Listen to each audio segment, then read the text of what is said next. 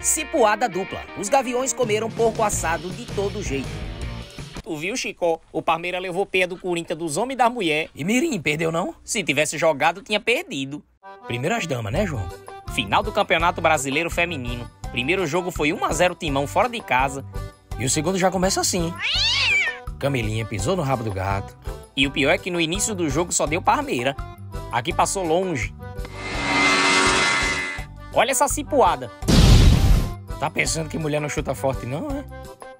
Aí o Corinthians acordou pra vida e foi pra cima com essa jogada de Adriana.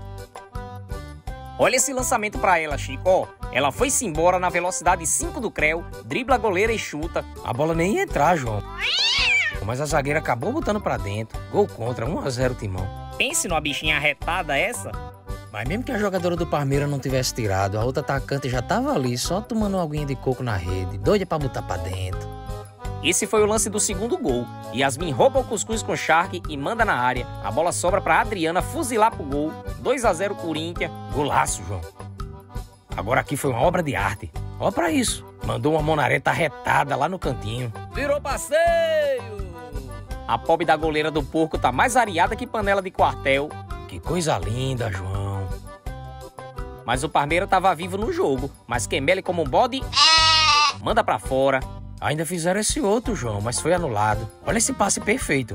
Mas ela estava impedida e não valia mais nada. Até que o Parmeira tirou o dedo e fez o famoso gol de honra. E foi um golaço. A goleira se esticou mais do que uma moeba, mas não teve jeito.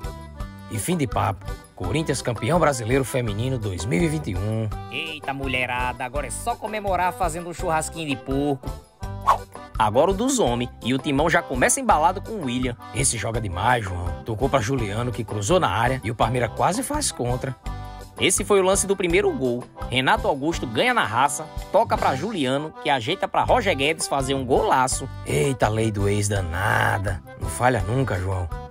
Se liga nesse lance de William, João. Na velocidade 5 do Creu, sai levando quem vinha pela frente. Lançou para Roger Guedes, que mandou para dentro, mas foi anulado. Parece que ele estava adiantado mesmo, João. Ele estava com frio e os bicos do peito dele chegou primeiro que ele.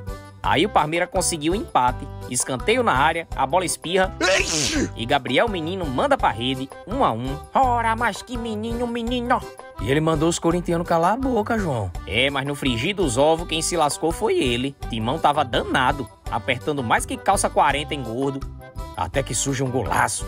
Jogada bem trabalhada na velocidade. A bola chega nele de novo. Roger Guedes deu um vale transporte para Gabriel Menino. O mesmo que mandou calar a boca. E mandou essa leroada que o Everton não apareceu nem na foto. Esse infeliz estava endiabrado, Chicó. E a lei do ex não perdoa mesmo. É, e o porquinho sai mais sofrido que zabumba em noite de forró. Deixe o like nesse vídeo e já veja esse outro com a resenha da peia que o Corinthians deu no Ceará. Ficou sensacional. Clique aí.